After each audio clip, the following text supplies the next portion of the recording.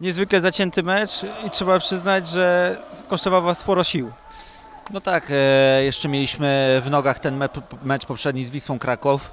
Jednak no, chłopacy zostawili dużo zdrowia na boisku. Dzisiaj było widać, że, że ten, ten, ten remis no, nam nie wystarczał. Chcieliśmy, chcieliśmy strzelić tą, to, tego gola, ale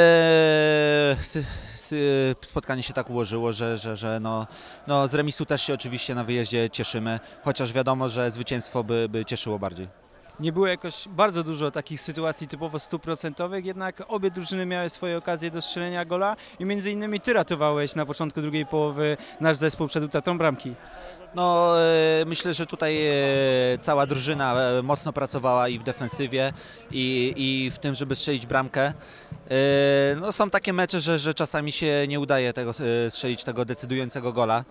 E, Myślę, że no, był wyrównany mecz, chociaż, chociaż to my w drugiej połowie mieliśmy większą kontrolę nad tym spotkaniem i, i no, zabrakło, zabrakło tej kropki nad i tak naprawdę.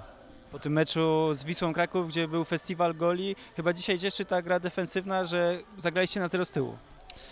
No też y, z racji tego, że, że Stomil był trochę inaczej ustawiony, y, byli cofnięci, cze- czekali na, na okazję z kontry. Y, My mieliśmy większą kontrolę i próbowaliśmy, próbowaliśmy rozegrać, znaleźć jakąś lukę w defensywie Stomilu. No tak jak mówię, no remis myślę, że, że, że trochę więcej pracy włożymy w wykończenie akcji, w strzelanie goli i, i będzie coraz lepiej z meczu na mecz.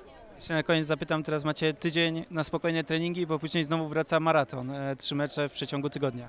Tak jak mówię, no, będzie czas, żeby, żeby popracować nad tymi aspektami i, i przygotować się jak najlepiej do następnego meczu.